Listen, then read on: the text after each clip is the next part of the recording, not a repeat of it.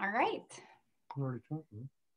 Welcome everyone. Uh, my name is Karla Rose Hanson. I'm a representative from District 44. I think I know most of the people um, who have joined us today, and we'll probably have a few more join us as we as we get started.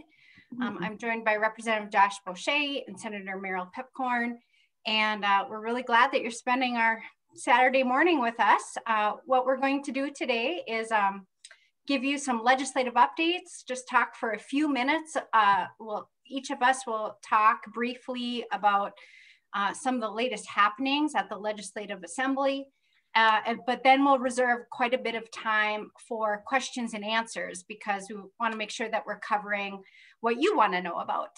So, um, so again, welcome.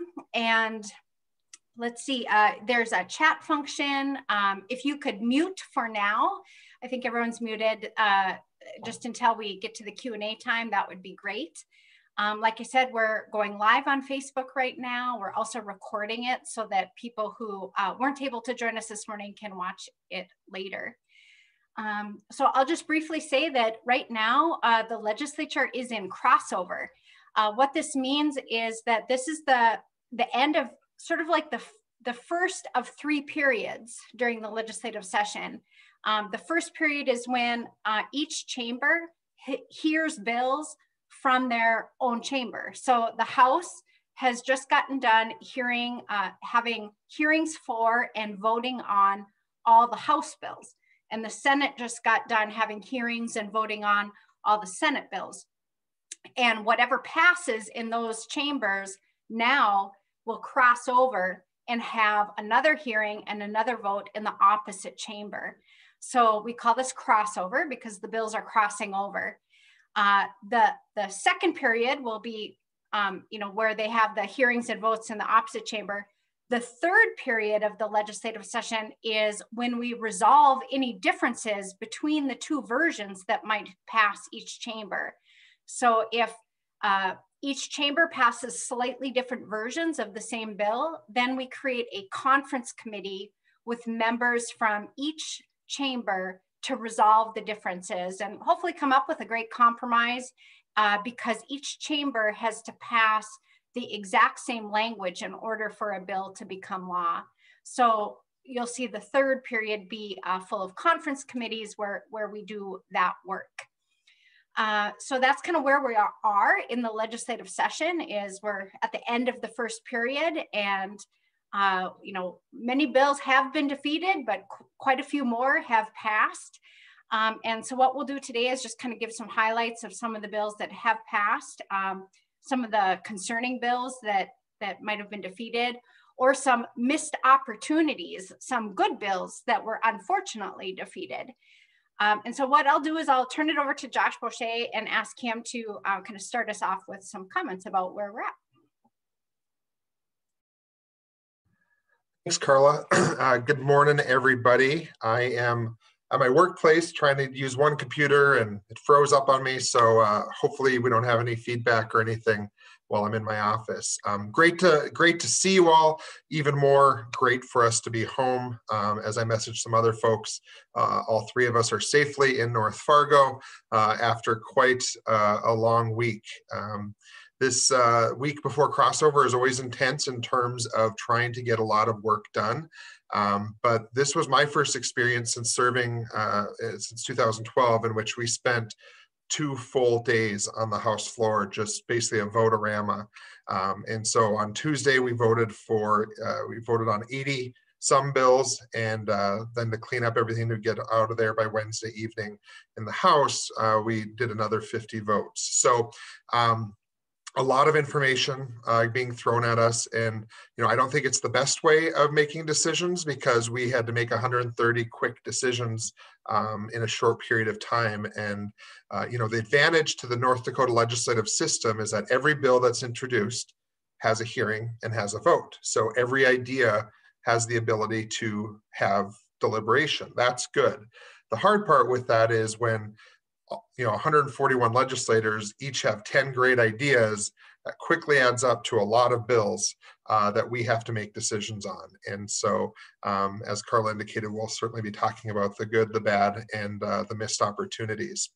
Um, I'm going to highlight a little bit about the budget uh, at crossovers. Uh, so what happens is each legislative legislative senate or session, the Senate takes half the agency budget bills and the House takes the other half. They alternate each session. So for instance, this year the House got to start with the K-12 DPI budget. Now that's going over to the Senate. The Senate started with the higher ed budget. That's now coming over to the House. Um, and, and there's already differences between uh, the House and Senate versions. And, and the biggest difference there is uh, compensation for public or for state employees.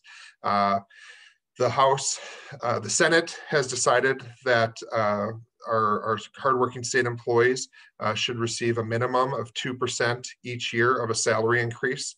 Uh, also continue maintaining their fully paid health benefits um, and no additional contributions to retirement. The House uh, has always trying to use leverage against the Senate. Uh, the House appropriations, uh, the Republicans on there passed a one and a half percent increase each year for state employees. So the budgets are crossing over. Uh, they're going to have different numbers. And so that creates even more kind of disruption in how we do our budgeting.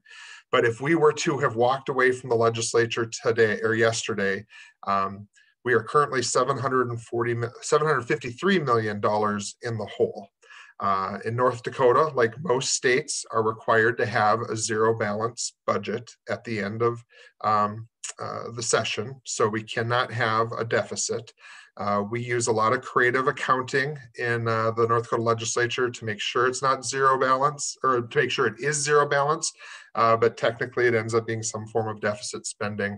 And what's helped us through that is, of course, the energy sector uh, and, and at times the strong ag economy because um, energy specifically fills up a lot of buckets, a lot of reserve accounts outside of our general fund that we then sweep in on the last day of the of the budget cycle uh, to to get us to that zero number. That $753 million uh, deficit, um, we don't get too, too much anxiety about because, like I said, there's some savings accounts we already know about and how they're doing that would sweep over, um, but also the reconciliation between the House and the Senate in terms of uh, salary compensation for our public employees. Uh, you know, the House right now has passed out a 0% increase for per pupil payments to our K-12 system. I assume the Senate's gonna say, no, we need to give some sort of increase. Um, and so that could create uh, additional budget uh, impacts and and so as karla talked about the second and third period become the most intense because not only do we have to in each chamber deliberate what happened in the other chamber but also uh, trying to get some final resolution all within 80 days. Um, and our goal this year is to try to only use our low 70s because as the federal government continues to uh, deliberate on uh, additional rescue packages or relief packages to state and local government, um, the legislature is unified in not wanting the governor to have sole discretion of what could be anywhere from 500 million to over $3 billion showing up in North Dakota from the federal government in the next few months. And so uh, we want to make sure that we're using our legislative prerogative to, uh, to delegate that money and make sure it's appropriated to programs. Um, the the big budget uh, items, uh, most of them have have come out of the House. So there's been a lot of discussion around infrastructure bonding, um, and you know the uh, the as the House Minority Leader, we had a package that we proposed from the Democratic NPL. Uh, my GOP colleagues had their package.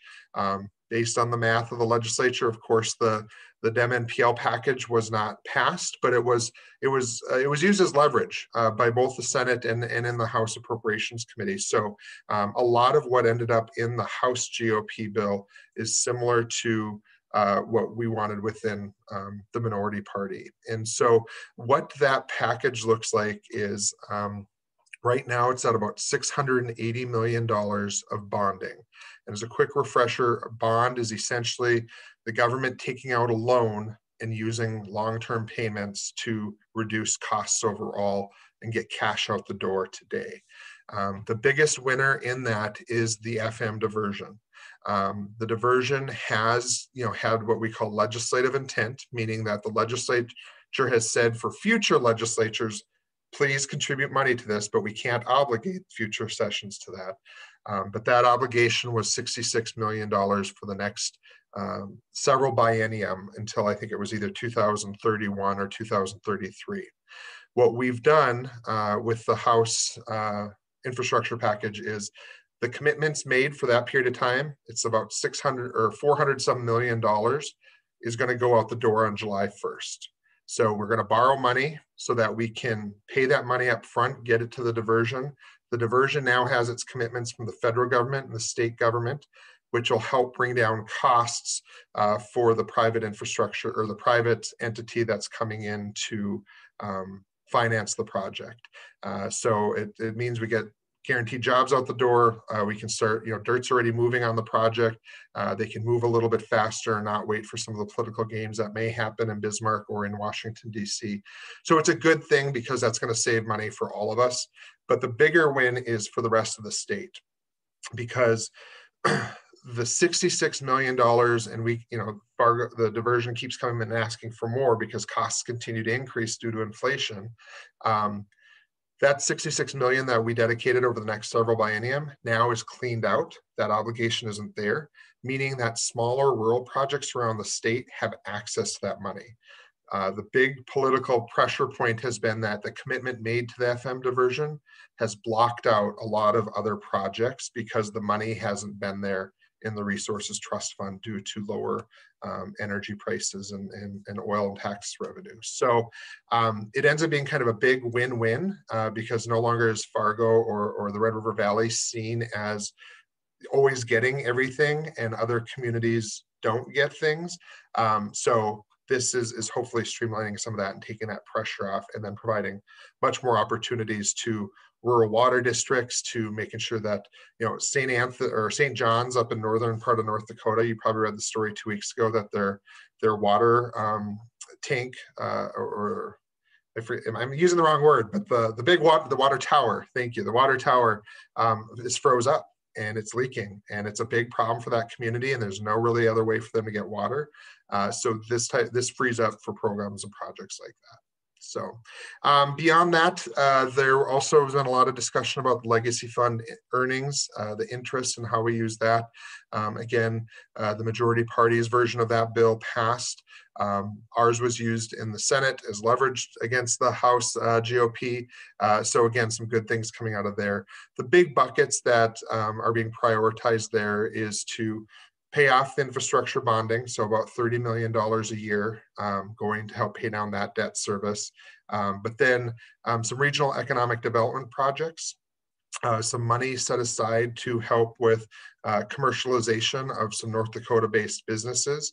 Uh, but the biggest, I think, win is um, the legacy fund right now is over $8 billion. And that money is invested much like you know maybe your retirement package or other uh, funds that you have invested. And we depend on on managers basically in washington or in new york city uh, to to invest that. Um, one of the bills we passed out of the house is to say let's there's a, a small portion that we put in what's called fixed assets. That's infrastructure. Um, so we are helping give money that are then returned back to to our fund at a low interest rate for projects in new york city Washington State, uh, China, Africa.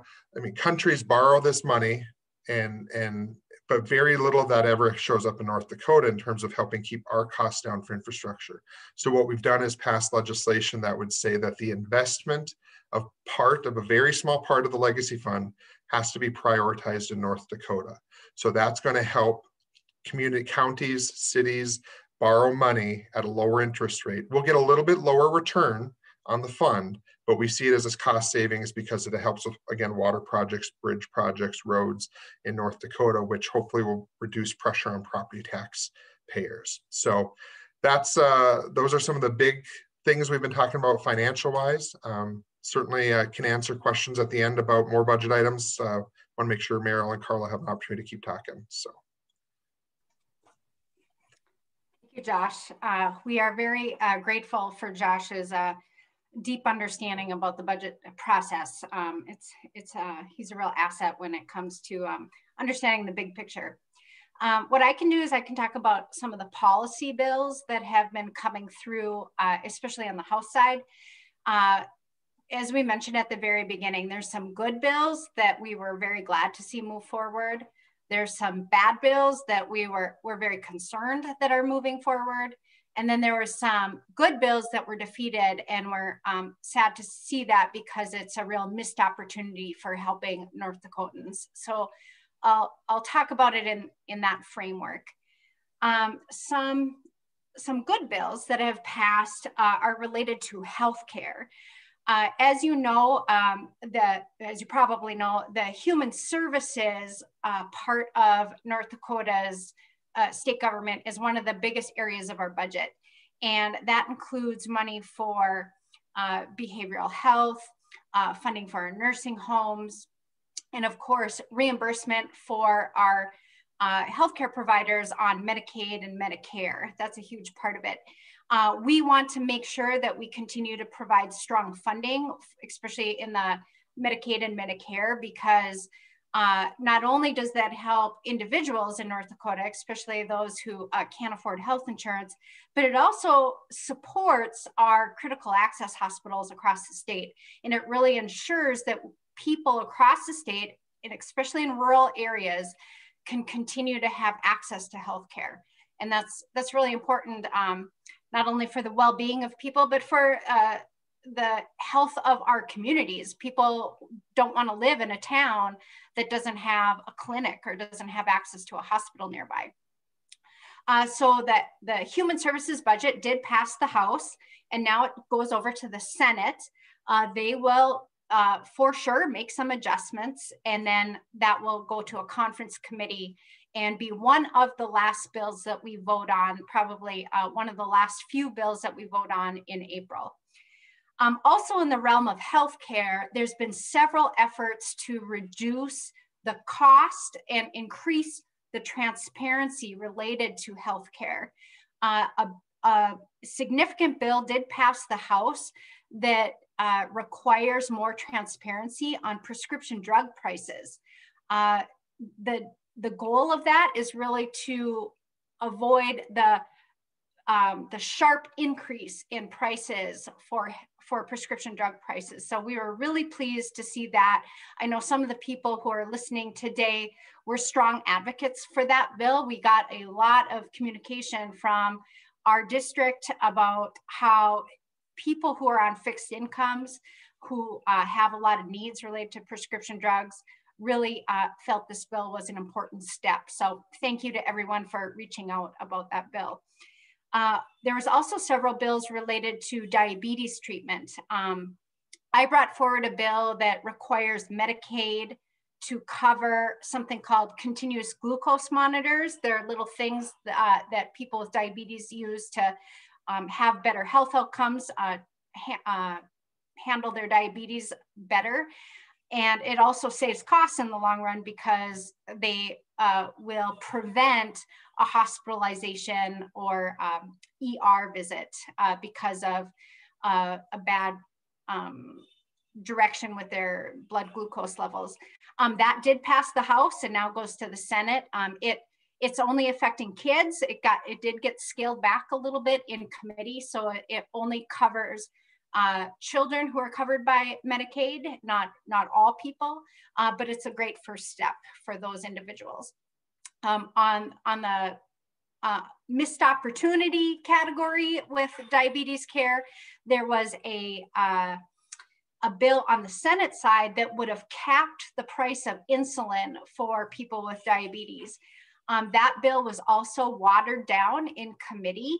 Uh, originally, the bill would cover anyone, uh, all health insurance plans, and cover both insulin and supplies.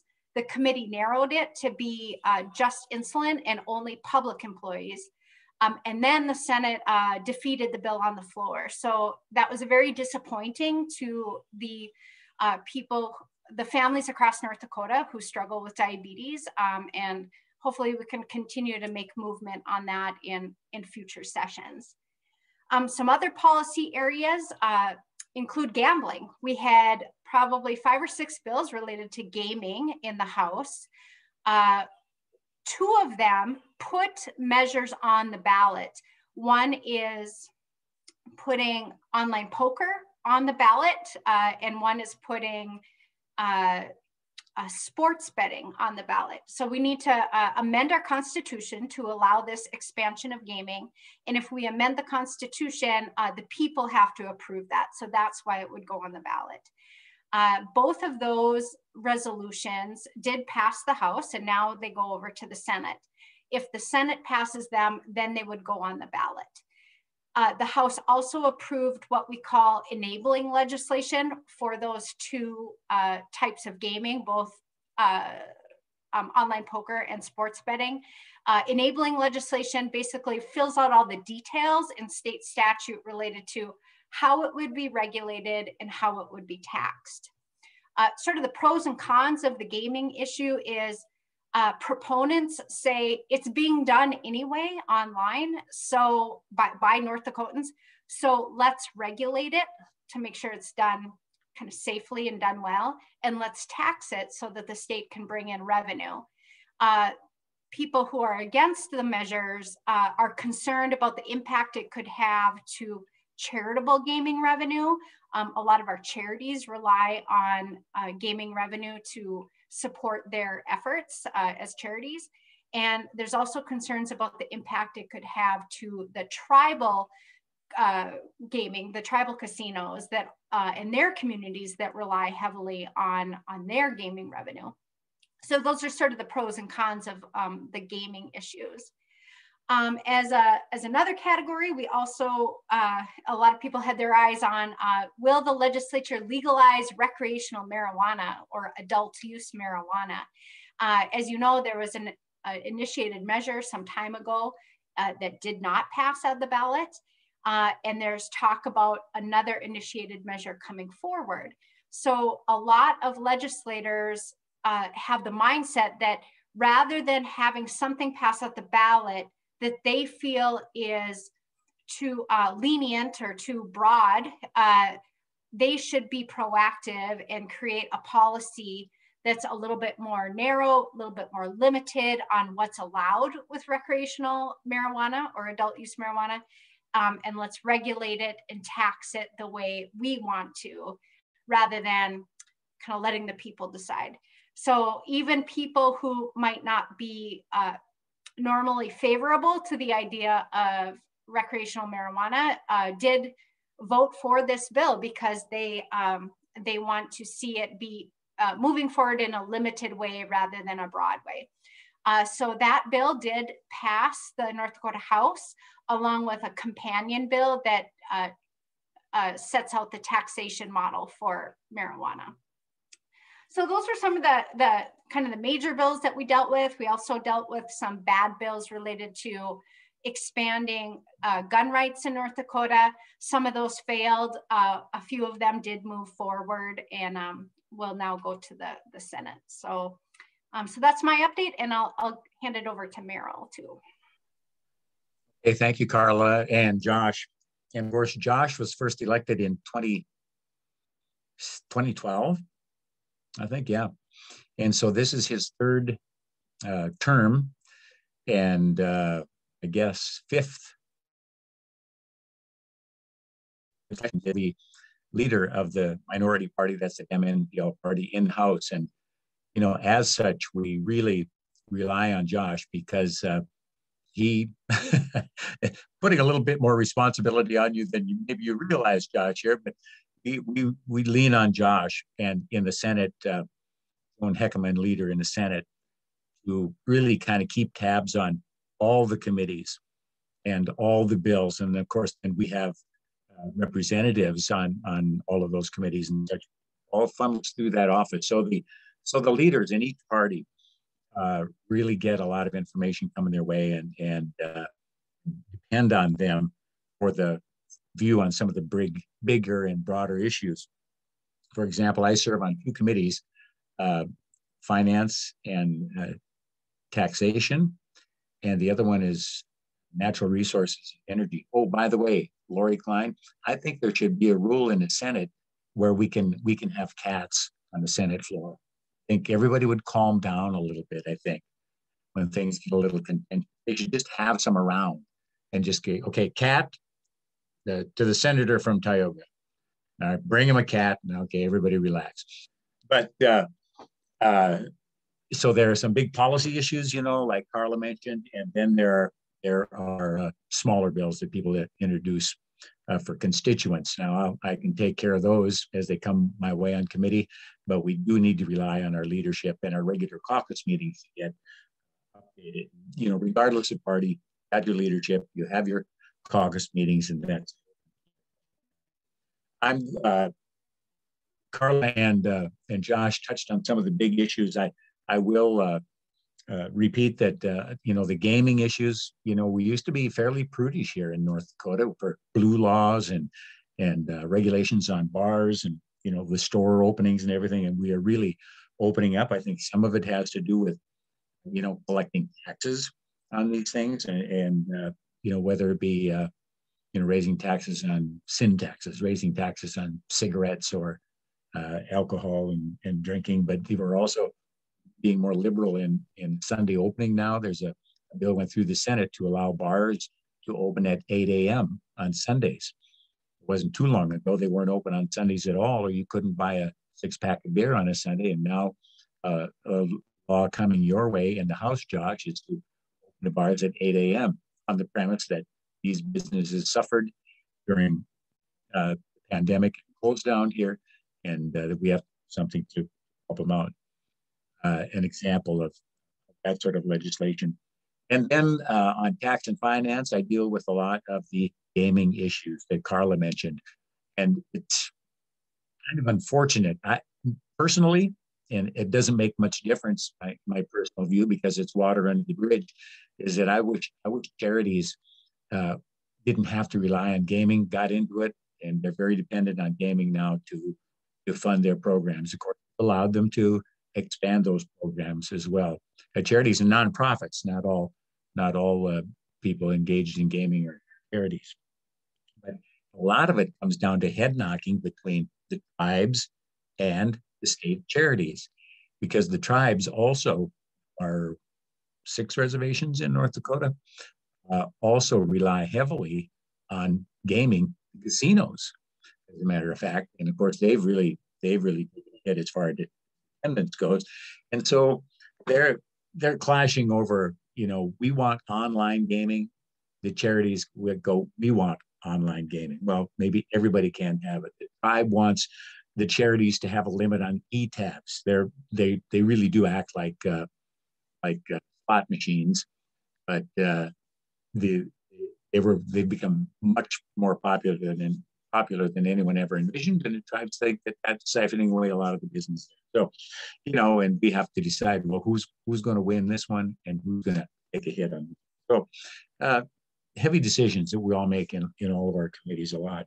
I think one of the interesting bills that came through the Senate was uh, something that uh, Representative Hanson has been uh, promoting the past couple of sessions, and that's annual sessions of the legislature. Now, one member, uh, uh, Brad Bekkedahl, senator from Williston, introduced that bill this year. And uh, one senator who began that session in the Senate, present, uh, had to leave somewhere before this was introduced on the floor. So that left 46 senators on the floor, and the bill wound up a 23 23 tie. Well, in that case, the president of the Senate, Senate, who is the Lieutenant Governor Brent Sanford, he has the option of voting or not. Last year, he chose not to vote on the seatbelt law, and that uh, when that came to a tie in the Senate, and he did vote this time in favor. So the bill passed that day uh, to uh, to look into uh, annual sessions. Then the next day, the senator who was absent came back and asked, "You can ask to uh, reconsider a bill." And often that will change maybe the outcome of the uh, of the vote the previous day. It did not. More people voted for annual session this time, you know, when it was brought up again than they did the first time. So that was that was fairly interesting. And and on the same day, I can't even remember the bill right now, but the president of the Senate also had to, to uh, cast a vote to break another tie in the Senate. And again, the same senator brought that back, wanted to vote on it again the next day, and, and the yes votes to pass it were again greater than they were the first time. You know, um, I want to tell you that on the uh, on the Senate uh, Natural Resources and uh, and uh, Energy Committee, excuse me, uh, we receive everything from uh, personal bills, like uh, one senior citizen wanted uh, to have anybody 75 years or older to have their name in a drawing for a moose tag, have two two chances rather than just one. Well, that was uh, a bill introduced on behalf of one constitu- constituent. Um, and on on the other hand, and that bill passed, by the way, through the Senate. You'll be getting that one. On the other hand, we deal with taxation issues regarding the oil and coal industry and the fossil fuel industry. And uh, it does seem that uh, the committee heavily favors uh, investing in coal and uh, doing doing what they believe North Dakota uh, owes it to the coal industry to keep that struggling industry, struggling nationwide, to keep it alive. And a flurry of bills uh, came in at on the last two days of our committee meetings, and then a flurry of amendments at the very end, and uh, it just it just sort of it just sort of steamrolls on through, and it'll go on to the House, and you're going to be getting a lot of those bills over there in the House as well. Uh, uh, one interesting note too, I think all of us here, uh, most of us are in Fargo, and it's of interest to you anyway. Uh, there's a Senate bill 2139 that got passed that is basically expanding the idea of the Renaissance Zone, which many credit the revival of downtown Fargo to the Renaissance Zone. There's been a lot of building. You know, Fargo looks kind of like a like a main street that maybe it did in the in the 60s. Uh, the businesses are a little bit different. They're a little bit uh, more unique. They're a little bit more specialty shops than the big department stores like Penny's and Sears and the big hardware stores and such. But it, it looks pretty good down there. And uh, there's a bill, Senate Bill 2139, that is expanding that concept of the Renaissance Zone to neighborhoods to make it uh, easier to invest in improvement of neighborhoods. And that, that a lot of that has to do with housing too. And I've been involved in the uh, the neighborhood the neighborhood uh, planning uh, committees that uh, have assembled now a, a long range plan for for the core neighborhoods in Fargo, Horace Mann, Clara Barton, Roosevelt. And uh, it'll be interesting. I don't know much about this bill, but the uh, core neighborhood planning uh, sessions went pretty well. And there are a lot of good ideas in that. And that's going to be making the news in Fargo here soon. And uh, I have work to do. And as you will in the House, directly affected by this, the Senate Bill 2139 uh, expanding on that uh, on the, on the uh, zone, kind of expanding the, the neighborhood. Well, that that's enough. We might have more to add. I've got other things to talk about. It's interesting. It, it, it is it, it is weighing on uh, on our shoulders. We there is a lot of responsibility. It's very enjoyable. It's very satisfying and rewarding work, but uh, definitely a much needed break here. It's good to be home, uh, just being with the people that we live with and that we represent, kind of get geared up and charged up for the next session, which does again move rapidly. So thank you for attending, everybody. And uh, thanks really to people who really stay in, in contact. I see the Warners are here. They're very uh, diligent about staying in contact with our uh, legislators. I'm going to give you one more example, then I'll, I'll shut up here for a minute. But I had an email from a constituent who said, my daughter, who's a teacher, and my wife, who has at least two underlying health conditions, is they have not gotten their first vaccine. I just got this a couple of days ago. Yet prisoners in the uh, state penitentiary in Bismarck uh, have been already afforded the opportunity to get the first round of vaccine, and he was upset with that. Well, what can I do about that personally? I forwarded his email to the governor. I forwarded his concerns to the Department of Corrections, and I didn't think of this till later. I had got, I will forward that email to the Department of Health. so then they at least get a, a concern, get this constituent's concern with with the problem. So that's what we can do. Well, not solve people's problems all the time, but point them in the right direction. And oftentimes there's resolution. We have a lot of good people working for us in the capital. Okay, thanks. Karla? All right, thank you um, both Josh and Merrill for your updates. Um, I have started to get some questions, so let's move into the Q&A portion of our forum. Um, if you have a question, you can, um, I, am not seeing our the raise hand feature in our view of the Zoom, so just go into chat and type your question and we'll, we'll get to it that way. Um, or we can, um, or if you're not able to do the chat, you can also uh, unmute yourself when we after we deal with the first couple questions and um, and you just ask your questions. So uh, the first couple questions we have are around higher ed. So I thought I'd first start by giving just a quick update uh, about some of the bills that do impact our higher ed community. Uh, first of all, there's the higher ed budget. That's um, Senate Bill 2003. So that started on the Senate side. Now it moves over to the House side. Uh, earlier in 2020, the, uh, the Board of Higher Ed proposed a needs-based budget. Uh, that was in um, contrast to what the governor asked our higher education institutions to put forward. He had asked, along with the other agencies in state government, to put forward a draft budget that had cuts involved. And I think, and I believe that he had asked the higher ed uh, institutions to come in with a 10% cut, if I recall. Uh, and that would have, of course, resulted in a lot of uh, elimination of positions across our 11 institutions across the state. And there's great concern about this because, as many of you know, uh, our higher education institutions have endured several deep cuts over the last couple sessions. And so the concern here was that we're now going to start having to eliminate programs. Um, and it would just be way too deep. So the higher ed, uh, the Board of Higher Ed advanced a needs-based budget instead that did not reflect the governor's request for a 10% cut. Um, and this, the, the bill, Senate Bill 2003 that the uh, Senate just approved did uh, largely reflect that needs-based budget in what they passed. And so that was that was very positive news. Um, uh, the higher ed board was really happy to see that. Um, two other bills also got dealt with uh, either in the House or the Senate over the last couple weeks that impact our campuses.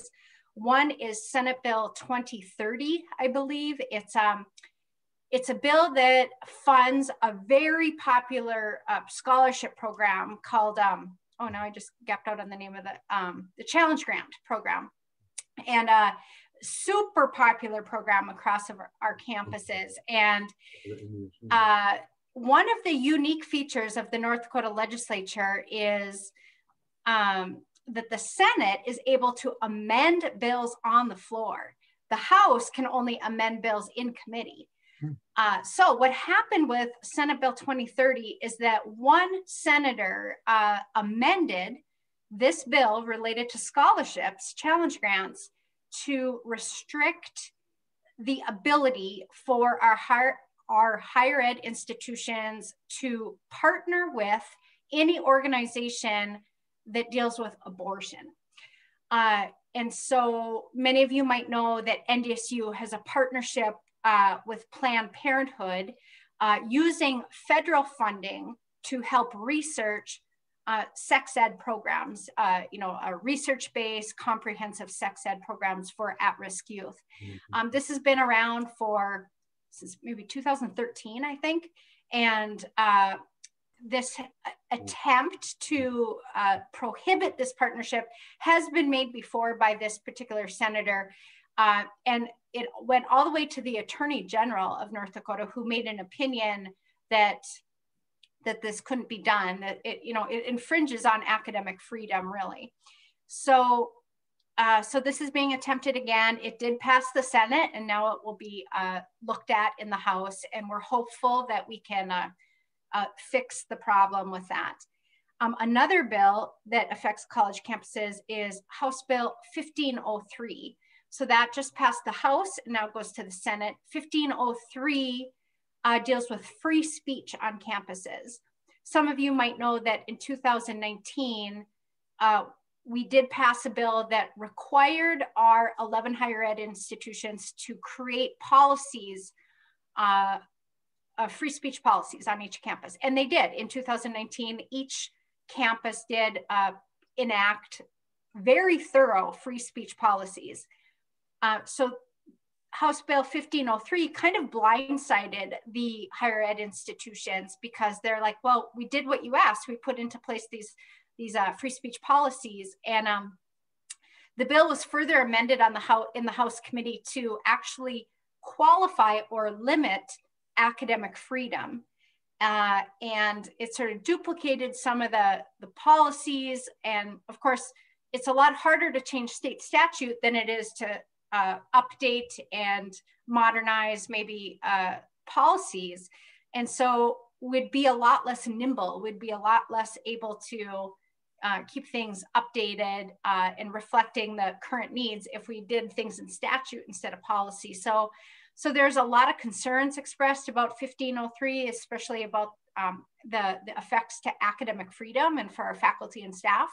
Uh, but it did pass, and so now we'll we'll deal with that in the in the Senate side. Um, so that's that's kind of the broad implications on some of the higher ed uh, things, and I want to just offer the opportunity to um, now I'm looking for her. Um, Birgit, if Birgit had any additional questions, there you are, Birgit. Um, any additional questions uh, on, I know you had a question about salaries on nine month faculty, and so go ahead on that. Yeah, okay, thanks for the summary. I mean, that already explains a lot. I had sent her my three questions privately. So the salary issue is one that was probably not intentional, and I do not think that legislators are necessarily aware of it. Last time there was a cap visit and that meant up, um, up to $120,000, people got the 2%. And on top of that, it was a little bit less. The way that worked out is that most of our faculty are actually nine months faculty. And since it wasn't like $2,000, like, it wasn't like $120,000 a year, but 2000 a month, they multiplied that by nine. When I already put the cap at less than that. In addition to that, we only got three quarters of the raise. So I'm wondering whether there's a way to phrase this differently and not say the cap is this many per dollar per month, but per year, so that it doesn't matter whether somebody is a nine months or 12 months faculty. So for, uh, for me, I don't care. But I mean, for many people, it, it does make a difference. And there was a little bit of a sour taste because it's also not exactly merit pay anymore then. Um, I appreciate flagging that. And since it's coming over to the House side, we'll make sure we connect with Tammy Dolan at the University System Office. I assume they've been made aware of that concern and they can help us draft the language that would necess- that would make that work.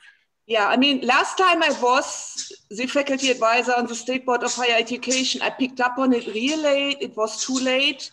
And then I kept pestering the system office, and they were like, oh, we don't know. We need to talk to legislators.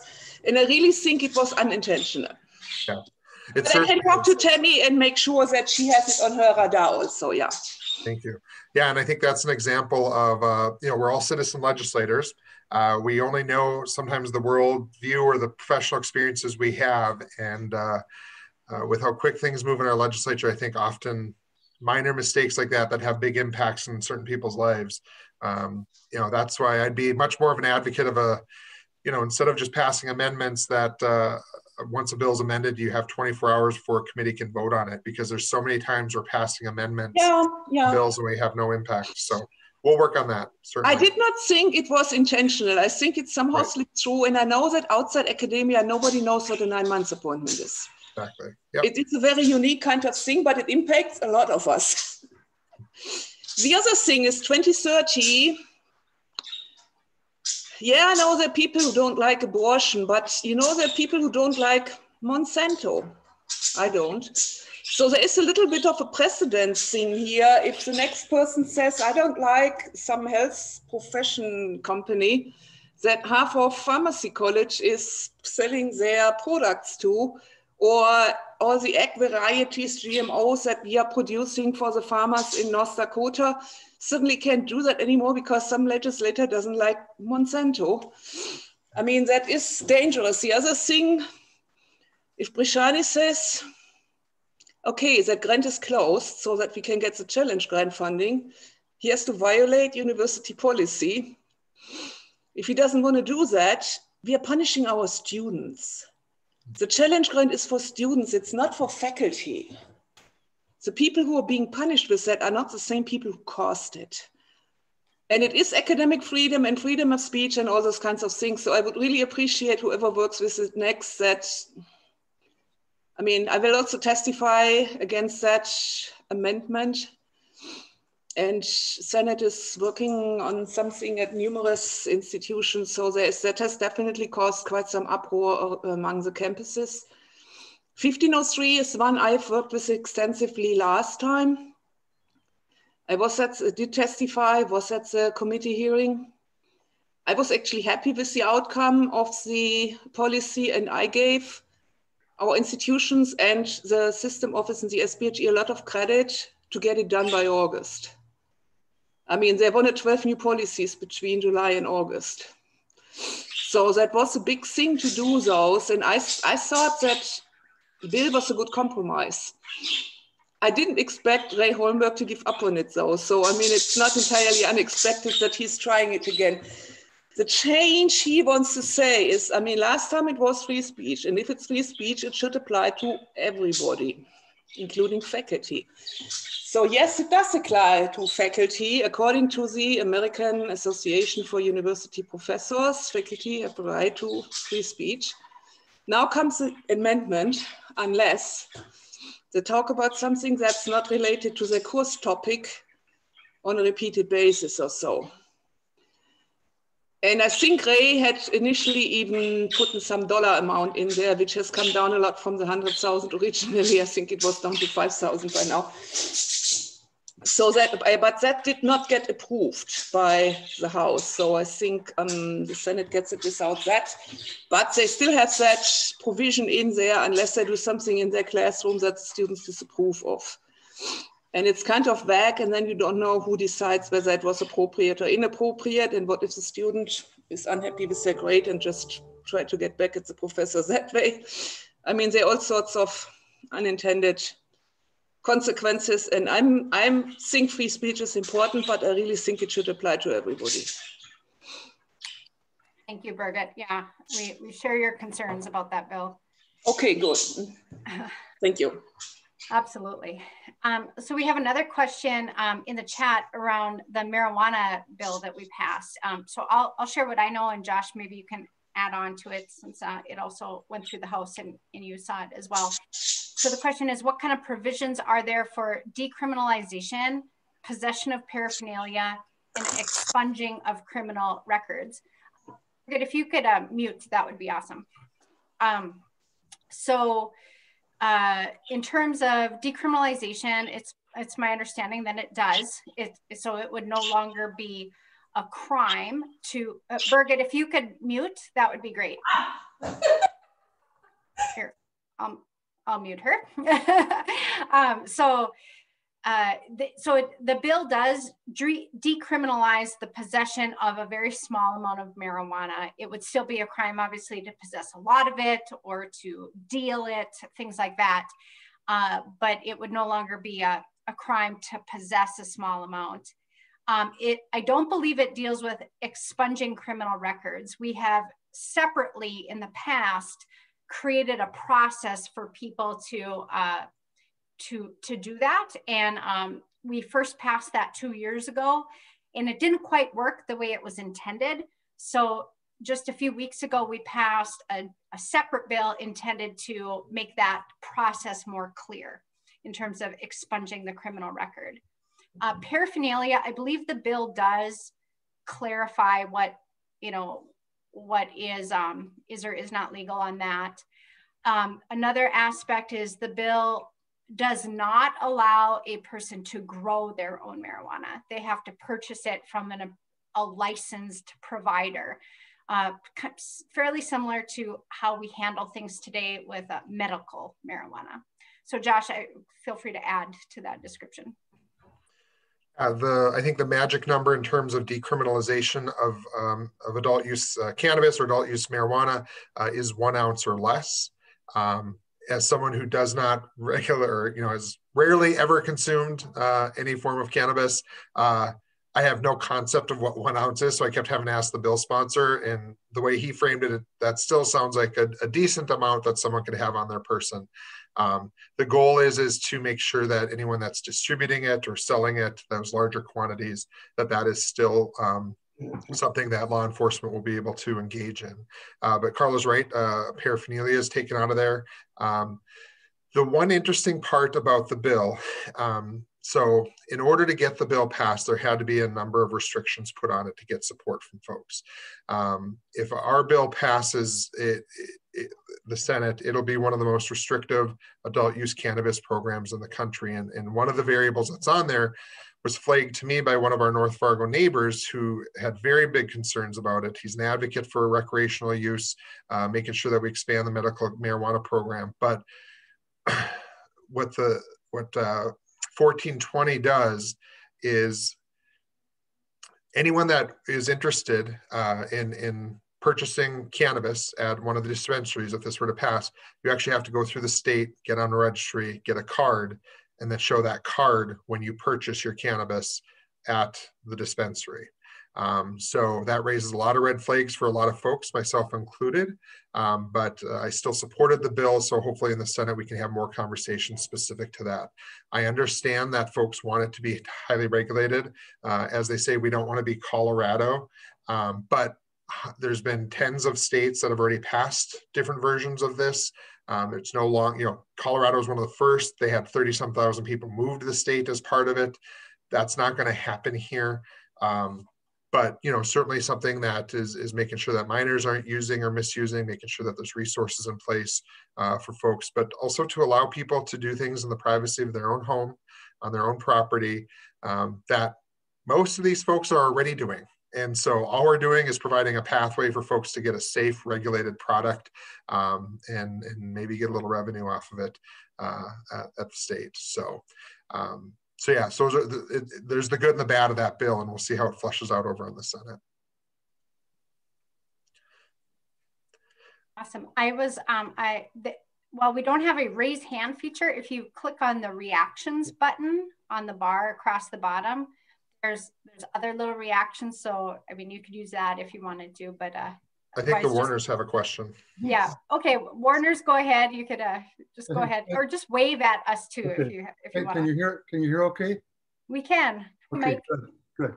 First of all, I want to thank you guys for what you do. Uh, you're marvelous. You're wonderful. Uh, and a lot of people, a lot of the listeners are probably not aware of the fact that you know that what you do, having regular meetings, sending out a newsletter, and those kinds of things are not don't happen in a lot of parts of the state and I want them to know that. And we thank you for that.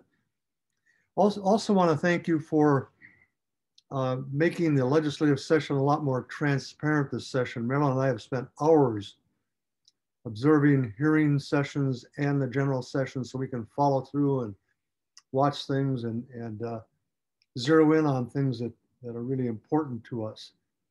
Another thing that I want to mention just uh, for information is for you, Karla. Uh, and I don't want you, you don't need to respond to this, but we really feel for the abuse that you received in the uh, lunchroom uh, the other day. Uh, that was heaped on you and, and felt bad for you.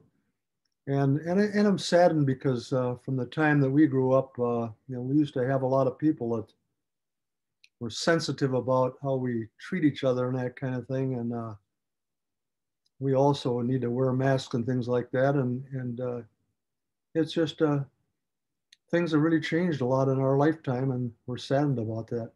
And it's not any, it has nothing to do with you. Now, the issue that I want to deal with is the prescription drugs. And you know that we've been on that issue and we thank you for your involvement and your attention for that. Uh, Senator, thank you for the 2170 and, and both of you for the uh, bills that were worked on on the House. No matter what happens on this issue, the thing that we're appreciative of is that it's surfacing, people are talking about it, it's a big deal, and it is a big deal nationally. And it can't, no matter what happens, this can't do anything other than to bring it to better national attention. And believe me, Big Pharma is watching us. Uh, we watched the hearings, uh, testified in the Senate Human Service Committee hearing. And boy, I tell you, they, they came out in powerful numbers to uh, try to explain why they needed to have a monopoly and, and uh, unlimited prices. And in fact, in our testi testifying, one of the examples we used was an eye, eye drop that I use that uh, cost $1,700 for a three month supply for an eye drop that someone, when I contacted someone who was visiting from a South American country, not Mexico, and came in here, we were able to get for $60 for a three month supply as opposed to $1,700 here. And by the way, that, that product from South America was produced in Waco, Texas. Okay, so same product, uh, United States product, $60 a month for three months as opposed to $1,700. The question, the only question I have today, and I have could have a lot of them, but what happens, two questions, I guess. What happens when a bill like that you guys passed in the House or in the Senate moves over now that's passed and moves over to the other house, does it go to a hearing committee? Okay. Then the next question I have is that we've found it very, very challenging for you people in the House to deal with a human service committee on the House side. Really, really, really tough to get them to move on anything on House side. Because okay. these bills at uh, like 2170 is now going over to the other side. And we found it really, really tough to get any movement at all on a lot of things. And do you have any suggestions in terms of how we might strategize to make become a winner on that particular committee?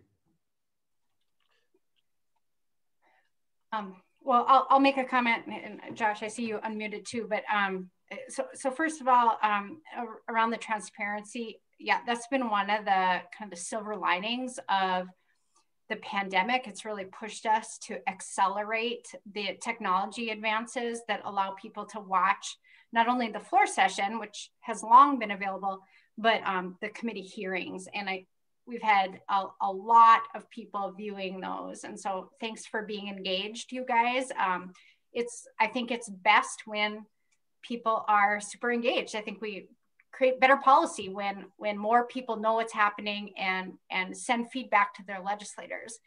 Um, to to build on your question about how you move a committee that might be uh, reluctant or hostile to a certain idea to me the best way to do that is to get people in the committee members districts to contact them uh, with their personal story. So you know, we get a lot of sort of, I'll call them canned messages, you know, canned emails or canned letters. Um, and that's fine. That's great. You know, those are certainly legitimate. Those are people from our district telling us how they feel about a certain bill or a certain issue.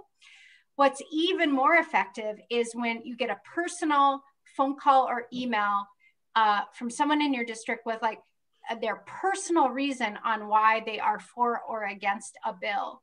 And so I've seen hearts change and minds change on committees when someone in their district reaches out to them and says, um, hello, Human Services Community Committee member, I really need you to pass um, House Bill 1288, which provides Medicaid coverage for continuous glucose monitors because my daughter was on the kitchen floor, almost comatose, and asked me to just, mom, just let me go. Just let me go, mom.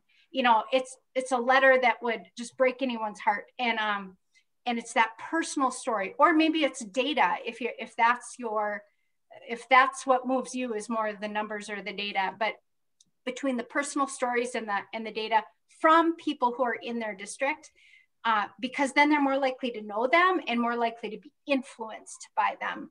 Um, to me, that's that's one of the levers that we can use. So, and I'll let Josh build on that. Thank you, Karla. No, that's exactly uh, what I was going to say is really take the time we have now before bill hearings to let those personal connections reach out. Um, you know, I think also a lot of times our, um, the, because of our limited uh, local journalism, you know, a lot of the media comes out of Bismarck and Fargo um, in communities that maybe some of these legislators um, represent, you know, they're not in Fargo or, or Bismarck, they represent another part of the state. And so you know, if you're working with other nonprofits or other advocacy groups, you know, how do you get stories told that are local in their local newspaper related to the bill? Because that also not only helps the legislators see, oh, this is my neighborhood too. It's not just Fargo families advocating for this or Bismarck families advocating for this. Um, you know, it's the kid next door that I didn't even know had type 1 diabetes because we don't talk about some of our health. We shouldn't have to talk about our health care, but um, so I think some of those strategies help as well, because not only does that legislator read that newspaper, so do their neighbors and the people they go to church with and they work with, who then talk about that issue being important to their community. Thank you. Yeah. Karla, I just wanted to follow up on uh, one of uh, Mike Warner's questions we didn't touch on is that what happens, Mike, of course, that a bill, Karla mentioned this earlier, a bill gets uh, assigned to a committee it comes out of the committee with a recommendation, goes to the floor of the House, an example, and then gets assigned to a Senate committee. So, and then out of that committee goes to the Senate floor if it, if it passes originally in the House. So yes, it does go to a Senate committee. And uh, I do want to just quickly address a concern that uh, Ben Tucker had regarding the college grant program that was brought up earlier. Uh, because uh, earlier on the Senate side, a bill passed that would include uh, private colleges in this college grant program, and that's uh, concerning to Ben. We're talking about funding for public schools and and uh, public universities and colleges. And this, I understand the concern. I did personally vote against the bill, including private institutions like Jamestown University, the University of Mary, which are fantastic, uh, fantastic universities. But in my mind, uh, should have been included in this public education bill. And similarly, the Senate did defeat uh, a similar bill allowing for a $3 million pool for private donations to K through 12 schools and uh, tax deductions up to $3 million, a fund that would grow. And uh, that bill got defeated. So it's uh, kind of ironic. That's the way it goes. Uh, you just never know what what what might happen. Maybe someone offers a persuasive speech. Maybe somebody wants to get out of there that day and uh, votes a particular way. And uh, as you know, again, a little bit separately, a bill can change dramatically from when it is first introduced uh, and then uh, how it winds up after amendments in different. Uh, good enough. I hope that answers your question there, there, Ben. Thank you. Right, we're, we're at the bottom of the hour, 1030, but there is one more question I want to make sure um, gets addressed um, from the chat. Um, Shirley, thanks for the question. There was a bill that prohibits both the state and uh, political subdivisions, so that would be counties, cities, and school districts from adapting, uh, adopting a mask mandate. Uh, that's uh, House Bill 1323 it did pass the House. We were all a little shocked, actually. We thought it was so extreme that, oh, there's no way this is going to pass. And, um, and it did. And so now it, it heads over to the Senate. It will, it will get a hearing. It will get a vote in the Senate. Now that people realize that they, they thought, oh my gosh, this actually did pass. Um, more people will be coming out and speaking against it. Um, I know our school districts are extremely concerned about this because masks have allowed kids to be in school. It, it allows us to have in-person schooling. And so our school districts definitely want to keep the mask mandate. Um, you know, city, it's a local control issue too. So if a city like Fargo wanted to have a mask mandate, this bill would prohibit them from doing that. Um, and I've also heard that the chamber of the state chamber is also going to oppose this when it goes over to the Senate because um, businesses should be allowed to make that decision as well. So um, I, I'm hopeful that it will be defeated in the Senate. Let me add to that, Karla, that we're looking forward to that bill. And of course, we will uh, will personally be working to defeat it. But uh, Representative Marvin Nelson, who's been in the House for many, many years now, said over the years, the Senate has been considered a more maybe level headed body, maybe a little, I don't know, stuffier perhaps, or just more reasonable. But Marvin says, well, this year it doesn't maybe necessarily look like that. So uh, I wouldn't count on the Senate for, you know, taking care maybe of what bad. It's interesting. The legislature, many in the legislature preach local control, local control, local control until it just contrasts with their personal beliefs. Then it's like, well, don't worry, we'll step in, tell you how it ought to be. We have to keep our eye on legislation like that as well. You guys, thank you for participating all morning. Um, we're grateful that you've spent part of your Saturday morning with us. Um, Josh and Merrill, thanks for everything um, you've contributed to the conversation. Um, our email addresses are on the website. So if you go to legis.nd.gov, uh, you can find our email addresses. Please continue to email us on the issues that are important to you. Um, again, thank you for joining us today and um, have a great weekend. Bye, everyone. Thanks, everybody.